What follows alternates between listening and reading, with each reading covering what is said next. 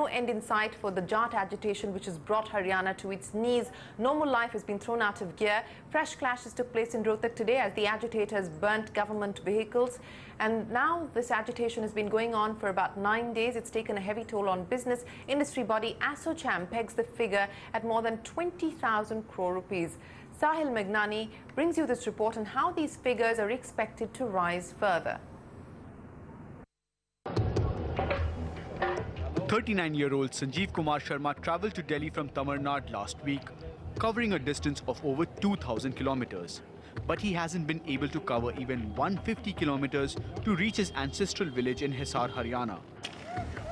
Road blockades by Jat community have forced Sanjeev to stay put and spend four nights in a Delhi hotel, shelling out 15,000 rupees. मैं यहाँ पाँच दिन से हूँ जी दिल्ली में दिल्ली में जी और करीब करीब मेरा जो पैसा था होटल में सब चला गया कितना पंद्रह हज़ार रुपया लगभग क्यों क्योंकि बाहर कोई बसें नहीं है जाने के लिए 20,000 crore rupees. That's what industry body ASSOCHAM estimates is the loss due to the Jat agitation. With protesters damaging rail tracks, Haryana has been practically cut off from the rail map, resulting in a loss of over 200 crores. हम लोगों को तो काफ़ी नुकसान हो रहा है लेकिन जो है अब एक कर्फ्यू लगा है पूरा अब बंद है तो हम लोग भी नहीं खोल सकते ना हमने इसी चक्कर में अपनी सारी शॉप बंद कर दी Not just the railways, trade and industry have been crippled too. Business hubs like Gurgaon, which is home to many top MNCs, has been affected. Maruti Suzuki has stopped production at its Gurgaon and Manesar plants and sent employees on leave. Even small businesses have been adversely affected with shops shut in border towns like Bahadurgarh.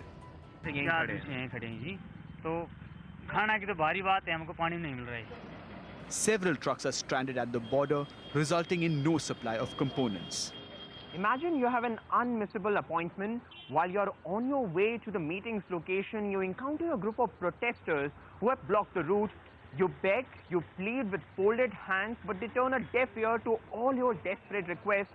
That's exactly what protesters here in Haryana have been doing to almost everyone trying to exit or enter Haryana, causing India's national economy a loss of 20,000 crore rupees.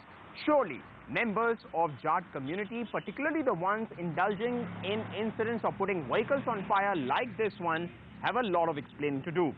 With video journalist Satish Upadhyay from Haryana's Bahadurgarh, I am Sahil Murli Menghani.